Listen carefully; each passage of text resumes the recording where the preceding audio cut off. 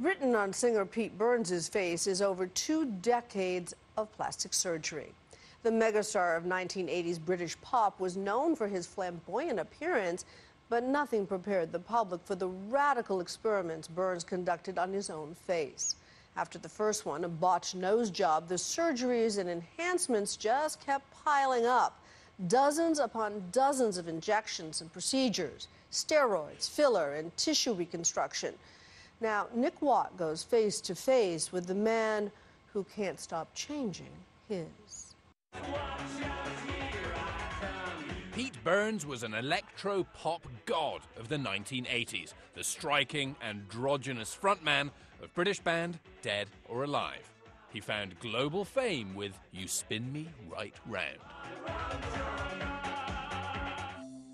25 years later, we meet in a London hotel to discuss what has happened to his face. I mean, you were a beautiful man, you were lauded. Why did you want to change it? I just wanted to change it. The first incision of the surgeon's knife, a botched nose job. That's where the eye patch came about because it collapsed on one side. It was done by a backstreet butcher. That didn't put you off? No, because sometimes you're just unlucky, and it was fixed. If you can fix it, if it goes wrong, if you can fix it, I don't see it as anything, any big drama.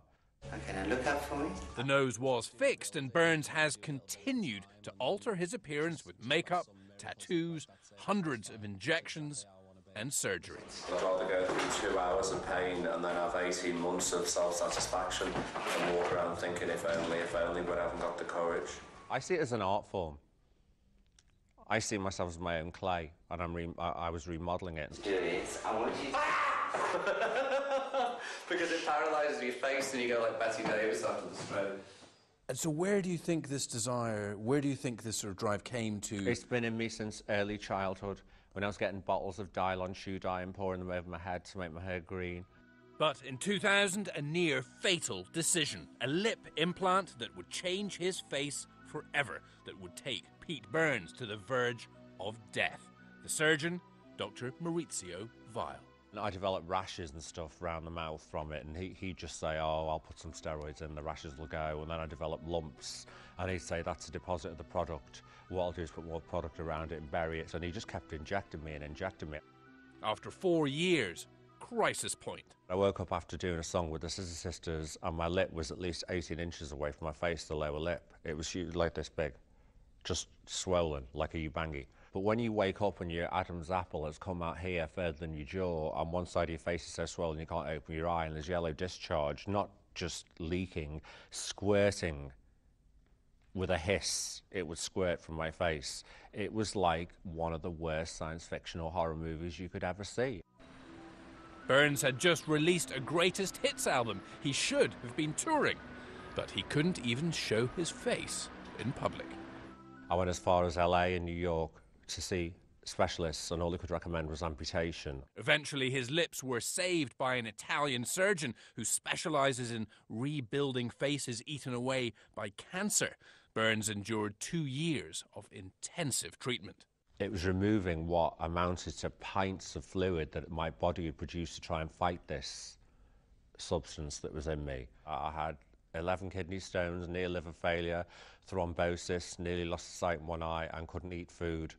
I had to be intravenously fed. So for two years like that.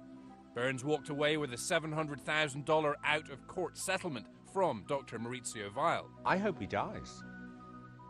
I hate the man's guts. Because despite over 100 operations to put things right, Burns still looks like this. If you walk down the street, people are drawn to look at you. They always have done. I don't even see it. It doesn't register. What are you underneath? I'm not about to tell anybody that, but all I will say is that what you see on the outside is a complete contradiction to something that's on the inside.